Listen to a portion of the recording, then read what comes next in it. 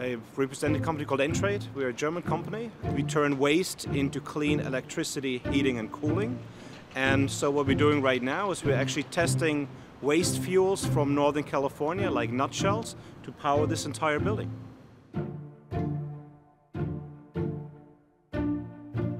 We try to show people is that this is actually a fantastic natural battery. You can use this and produce clean electricity, heating and cooling. What happens with this unit, that you can, you can put it in here by hand. It gets converted in this reactor into natural gas that runs a diesel engine.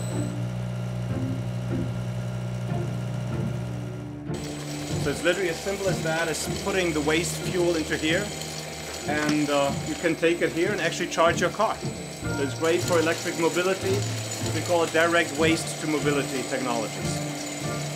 A big part of the work that we do here at LACI is actually testing all different kind of waste fuels. So this is all biomass we picked up yesterday in the Mojave Desert. We have currently tested about 150 different waste fuels and what really works the best uh, right now for us is woody biomass, food waste, nutshells is a great fuel for us.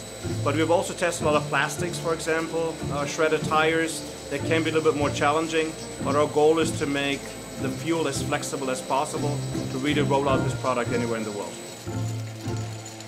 It's actually a unit you can't really buy. It's something we're going to operate for you.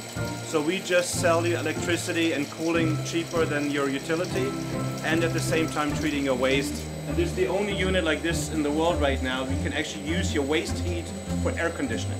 So for markets like California, it's even more amazing to use localized waste, turn it into electricity, and you replace electricity coming to use your air conditioner to actually cool your building.